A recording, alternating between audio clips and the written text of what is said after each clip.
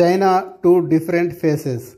At the beginning of the 20th century, China was ruled by emperors of Manchu dynasty. Manchu dynasty was unsuccessful in defending the interest of China from the western colonial powers. These powers had become very powerful and influential in different parts of China.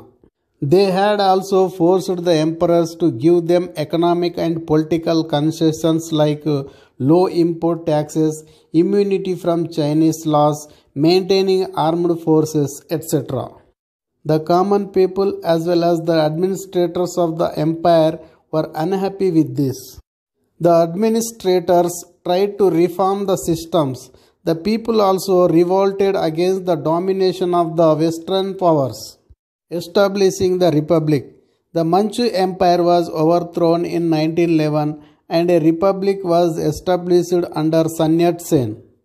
Sun Yat-sen is regarded as the founder of modern China.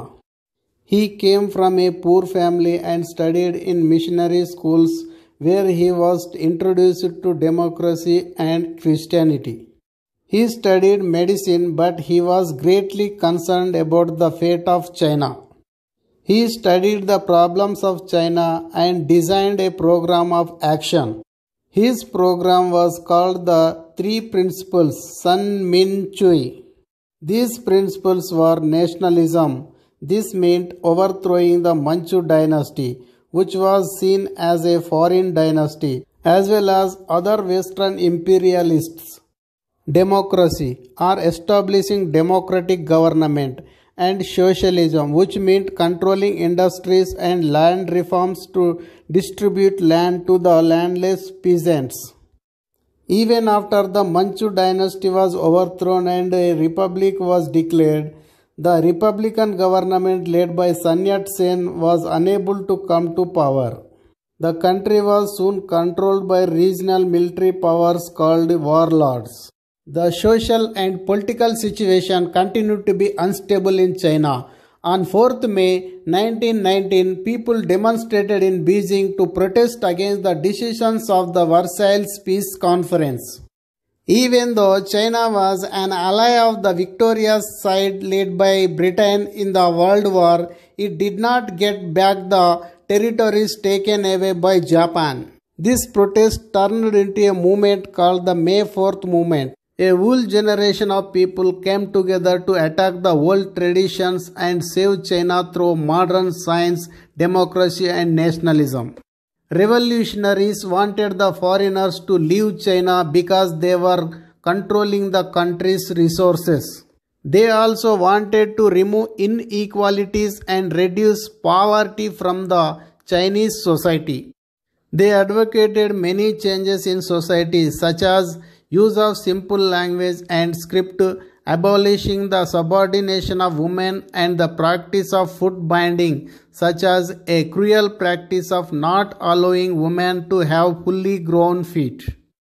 They also demanded for equality in marriage and economic development to end poverty. Why do you think young Chinese wanted to fight both against old traditional practices and against foreign powers? Did something similar happen in India? After the Republican Revolution, the country entered a period of great disturbance. The Kuomintang, the National People's Party also called KMT, and the Chinese Communist Party CCP emerged as two major parties. Both the parties wanted to unite the country and bring stability. The Kuomintang followed the political philosophy based on Sun Yat-sen's ideas. They identified the four great needs as clothing, food, housing, and transportation. After the death of Sun Yat-sen, Chiang Kai-shek emerged as the leader of the Kuomintang. He launched a military campaign in China to control the warlords and to eliminate the communists. Warlords were regional leaders who had forcefully taken control and authority. Chiang also wanted to militarize the nation. He said that the people must develop a habit and instinct for unified behavior. The Kuomintang's social base was in urban areas of China. Industrial growth was slow and limited at that time. By 1919, an industrial working class of around 5 lakh people had appeared in cities like Shanghai. These cities later became the center of modern growth. However, only a small percentage of these people were employed in modern industries such as shipbuilding. Most were petty urbanites, traders, and shopkeepers. Urban workers, particularly women, earned very low wages. They were now organizing themselves into trade unions. Working hours were long and conditions of work were bad. As ideas of freedom became popular, there was a growing concern with women's rights. Ways to build a family based on equality and discussions about love and romance. Many schools and universities came up to help in the social and cultural change. Peking University was established in 1902. Journalism also started reflecting the growing attraction of this new thinking. Chiang was a conservative and he encouraged women to have the four virtues of chastity, appearance, speech, and work. He thought that women's role should be limited to the household. Even the length of hemlines worn by women, such as frock like dress for women, was prescribed. He also tried to suppress the trade union movements to encourage factory owners.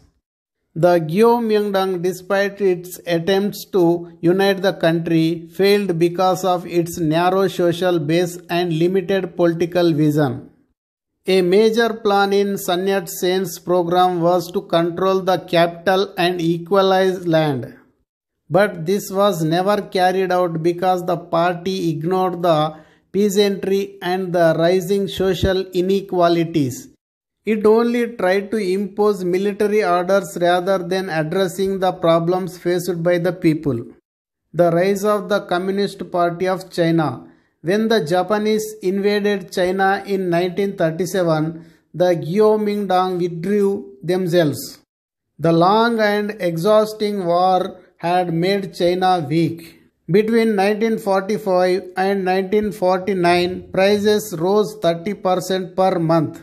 All this had completely destroyed the lives of ordinary people. Rural China faced two crises one ecological with soil exhaustion, deforestation, and floods, and the second a socio economic one caused by exploitation through land tenure systems. Indebtedness, primitive technology, and poor communications. The CCP had been founded in 1921, soon after the Russian Revolution. The success of the Russian Revolution had a powerful influence around the world. Leaders such as Lenin established the Comintern in March 1918 to help bring together a world government that would end exploitation.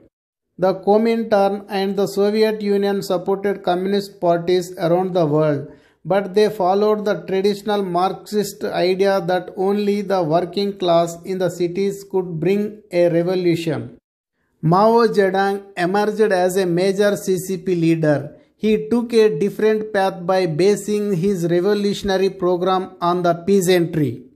He organized the Chinese peasants to fight for abolition of landlordism. He also built an army of peasants Millions of landless peasants joined the struggle led by CCP. His success made the CCP a powerful political party. It ultimately won against the Kuomintang. Mao Zedong's radical approach can be seen in Jiangxi in the mountains, where they camped from 1928 to 1934, secure from Kuomintang attacks. A strong peasants' council, Soviet, was organized. This council united through confiscation and redistribution of land of landlords. Mao, unlike other leaders, stressed the need for an independent government and army. He had become aware of women's problems and supported the emergence of rural women's associations.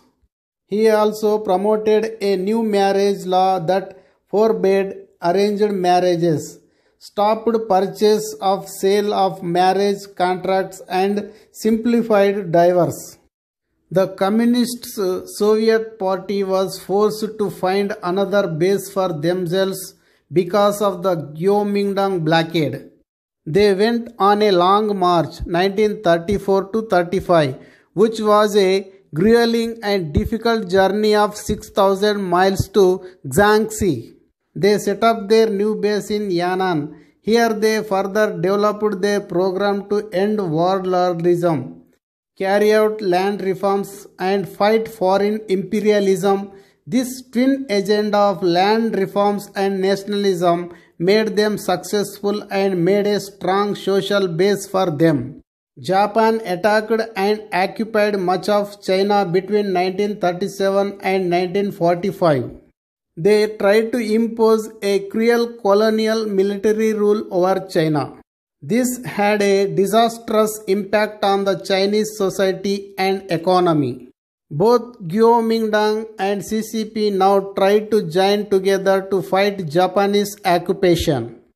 After the surrender of Japan to the US in August 1945, Kuomintang and CCP fought a war for control over China. Eventually, CCP was successful in establishing its rule over mainland China while Guomindang was forced to set up its government on the island of Taiwan, establishing the new democracy. The People's Republic of China government was established in 1949. It was based on the principles of the new democracy. This new principles was an association of all social classes who were opposed to landlordism and imperialism. Important areas of the economy were put under government control. Once in power, the CCP started large scale land reform measures. They took away the land of landlords and distributing them among poor peasants. The new government also managed to enact laws to protect women, their rights and abolition of polygamy. This enabled women to assume new roles and enjoy equal status vis-a-vis men in various fields.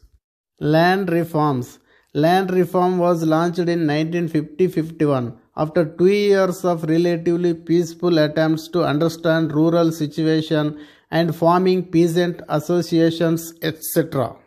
The major steps were a class identification of all the people living in the villages, followed by the confiscation and redistribution of landlord land and other productive property. Work teams that were dispatched by county level land reforms committees played a leading role in the process. One of their main functions was to set up peasants associations and select activists from them for local leadership positions. This new leadership was mostly from the poor peasants and middle peasants. In many areas, middle peasants were able to dominate because they were more skilled. In addition, the work teams mobilized the villages against the landlords through mass meetings and trials. The landlords were made to face public humiliation. A large number of members of this class were also executed in these trials, perhaps 10 to 20 lakh individuals. As an economic reform program, about 43% of China's cultivated land was successfully redistributed to about 60% of the rural population. Even though the holdings of poor peasants substantially increased, the middle peasants actually benefited the most from land reform because of their stronger initial position. The old elite had to lose its economic assets and power while a new elite class of village people emerged from poor and middle classes. These people had been brought into political work by the CCP. Along with the land reforms, another big effort was the setting up of adult peasant school to spread literacy and political education. Along with this, primary schools were set up for both young children and adults in all the villages. Most scholars agree that the success of the land reforms and universalization of education in the initial years of the revolution formed a solid basis for future development of China. The CCP rule gradually established a single party rule in which the supreme leaders or chairman was all powerful. All opposition activities were disallowed. In what ways did the land reform programs help CCP to win the war? Compare the land reforms carried out in China with that of India. What were the similarities and differences between them? Do you agree with the view that equal participation of men and women and equal opportunity for them is necessary for freedom and development of the country?